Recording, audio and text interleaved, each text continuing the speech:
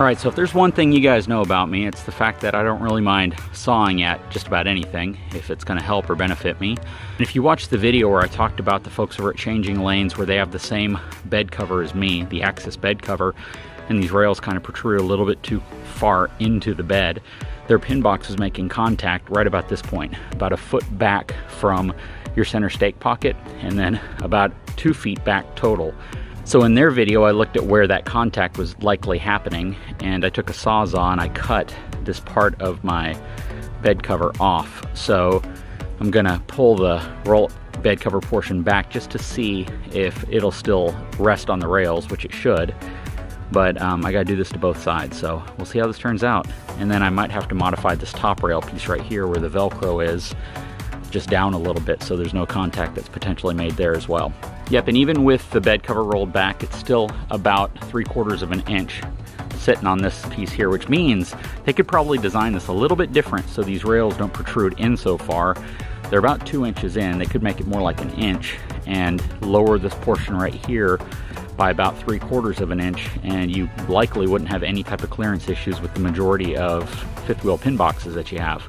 But I'm now gonna cut this piece off right here and do the same thing, see how it works.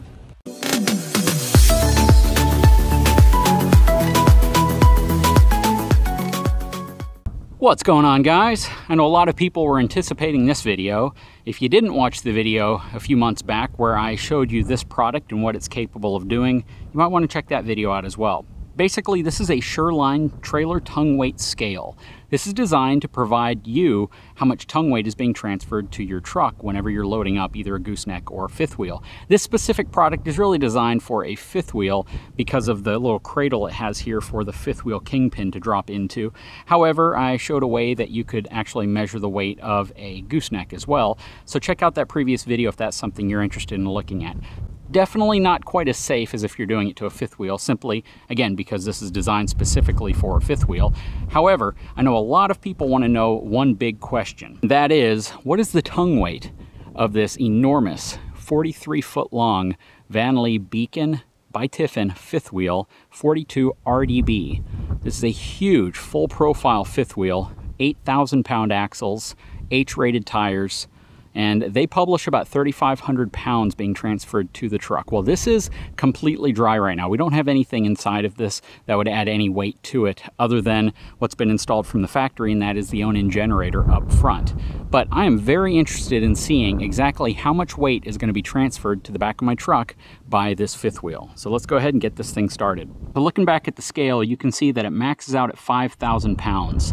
What they publish is about 3,500 pounds worth of weight being transferred. And again, this trailer is pretty much bone stock. It doesn't have any of our supplies in it yet. It's not loaded down for travel.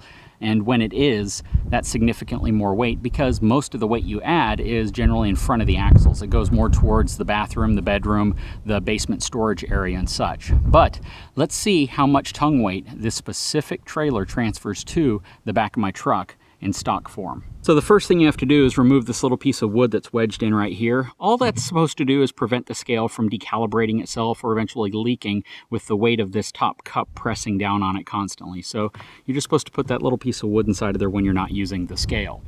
Now, this piece right here is generally screwed in right here. So it's all one compact little portable setup. Again, do not pull that out. I know you see that. That is not designed for a user to pull out. If you do that, you will damage the scale and likely void your warranty. This is going to screw into the bottom right here.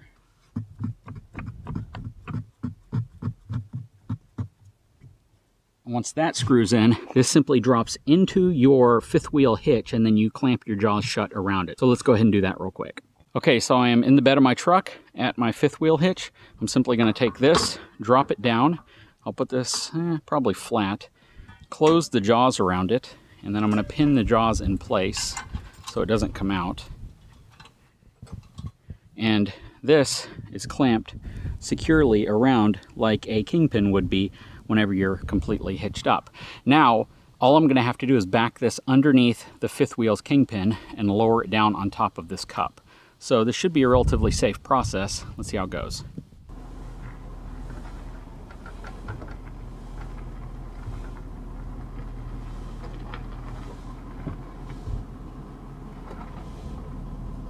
Okay, so you may be asking why I'm not removing that little cheap master lock I have around the kingpin. Well, I don't need to because it's not going to actually interfere with the process of checking the measurement or the weight of this fifth wheel, simply because it's not in an area that that cup will interfere with at all. I need to raise the fifth wheel up pretty high, and that's probably the single biggest downfall of this system is that you have to lift your fifth wheel up pretty high to get it over that cup. And in the process of doing so, you might take away a little bit of accuracy because you'll be transferring some weight to the back of the trailer when you do that. But it should still be pretty accurate. Okay, so here's the problem I have, and you can probably see it. I can't raise the fifth wheel high enough to actually get the kingpin over that cup.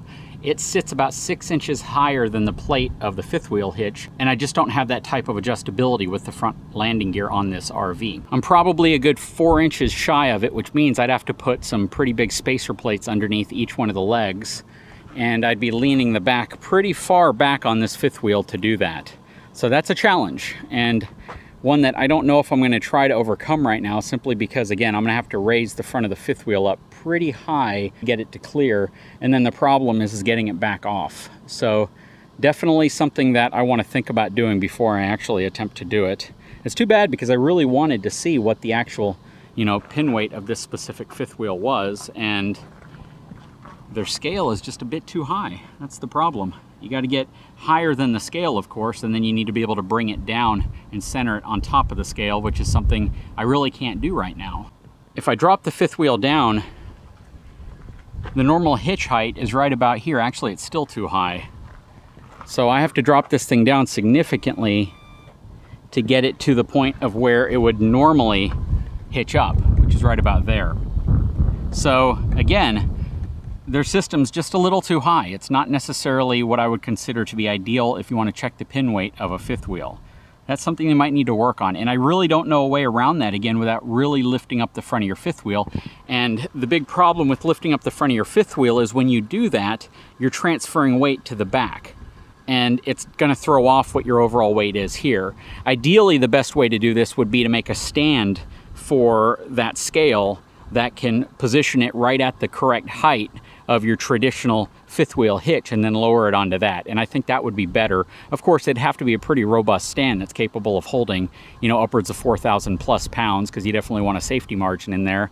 Um, I like the product and it worked really well for the gooseneck because of course the gooseneck hitches up at a much lower level and I can take the ball out and this essentially replaces the ball. It might be two inches higher than a normal gooseneck connection. But on a fifth wheel, you only have so much room to play with when it comes to your front landing gear. And this isn't something that I can honestly recommend only because there's no feasible way to connect it with the amount of room you would need. Unless, again, I put some pretty tall blocks underneath the front here, and by doing so, it would position some of the weight towards the back, and that's not exactly what I'm trying to do. I want to see specifically how much weight is resting on the actual back of the truck, and I would rather have it nose low only because it would transfer a little bit more weight and that would give me more of a realistic, you know, worst case scenario of how much weight could transfer to the vehicle. Very cool product, needs a little bit of work in terms of how it can execute its desired goal effectively because again, I don't have six inches of space to play with when it comes to raising the fifth wheel high enough to get it on top of that. And if I could raise it that high, it would throw my numbers off a bit, and that's not something I want to do. Guys, I'd love if you left a comment below. Really great product. What do you think they could do to improve it to make it work a little bit more conveniently with this type of setup? Let me know in the comments below. Guys, if you haven't had a chance, please take a moment, subscribe to my channel, give me a thumbs up, and we'll be back really soon.